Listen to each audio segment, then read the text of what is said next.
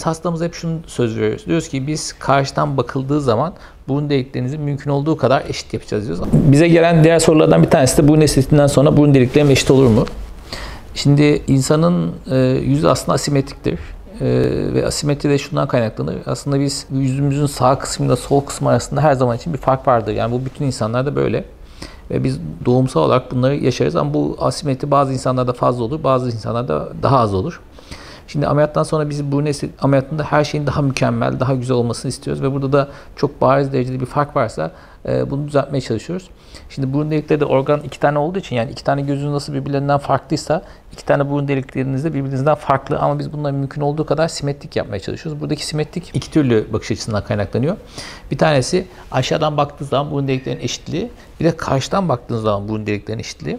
Biz hastamıza hep şunu söz veriyoruz. Diyoruz ki biz karşıdan bakıldığı zaman burun deliklerinizi mümkün olduğu kadar eşit yapacağız diyoruz. Ama aşağıdan bakıldığı zaman hiçbir zaman burun deliklerinin eşit olmasını garanti etmiyoruz. Çünkü bunun nedeni yüzünüzün sağ burun deliği ile sol burun deliği arasındaki fark olması. Ee, o yüzden de ameliyattan sonra her zaman için öncesine göre daha iyi bir sonuç olacağını garanti edebiliriz. Ama kesinlikle simetrik sağdaki burun deliği ile soldakinin eşit olacağını garanti edemeyiz. Çünkü bu doğanın gereği olarak e, böyle konuşlanmış ve böyle olması gerekiyor.